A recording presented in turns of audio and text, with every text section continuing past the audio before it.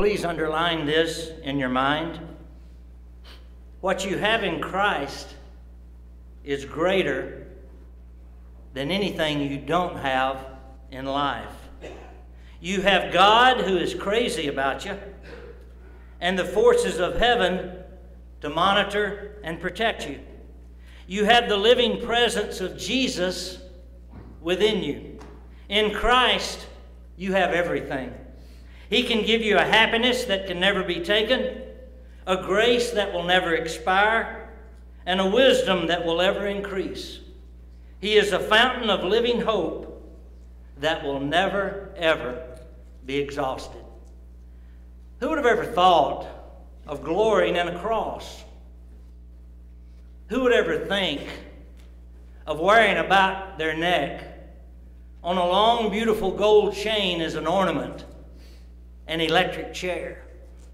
Who would ever think of wearing about the neck a symbol of the gallows or a symbol of the gas chamber?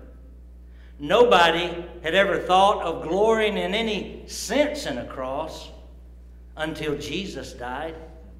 He changed the whole concept. There had never been a cross like that one.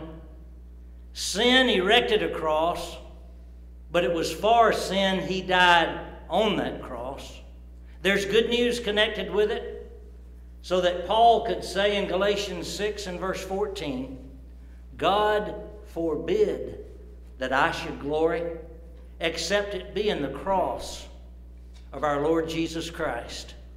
And what glory there is, because when we survey it, we see the real condemnation of sin. It always amazes me that a God up there became a baby down here and died on a cross for me. Let's pray.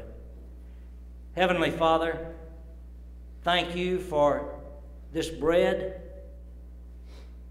Thank you for this cup. In Jesus' name, amen.